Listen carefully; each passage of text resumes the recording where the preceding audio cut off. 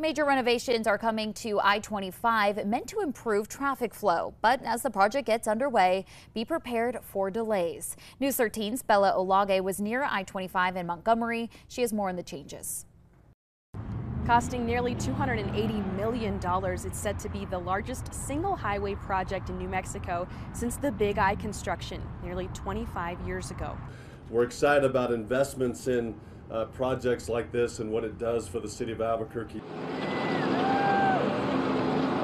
The New Mexico Department of Transportation broke ground today on the long awaited I 25 improvement project that has been in the works for the past three and a half years. This is a design build project, which means it's being designed and built concurrently.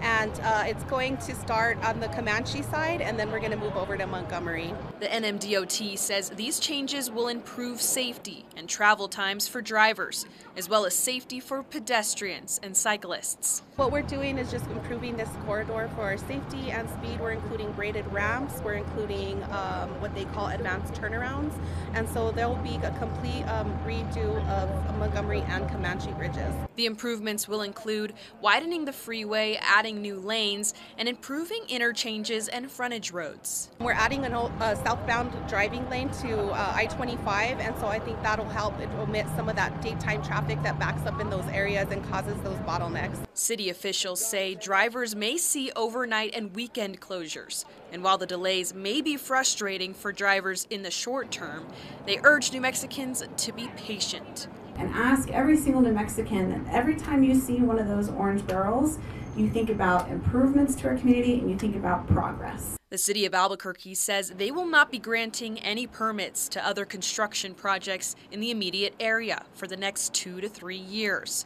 to avoid causing more traffic delays. Transportation officials compared the project to the Paseo interchange revamp in 2014.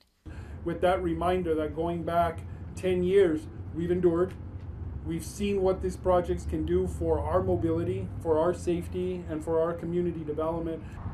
Drivers will see construction begin in August. It's expected to be completed in the spring of 2027. Bella Olage, KRQE News 13. The New Mexico Department of Transportation says they will have daily updates on closures and other impacts to drivers on their website.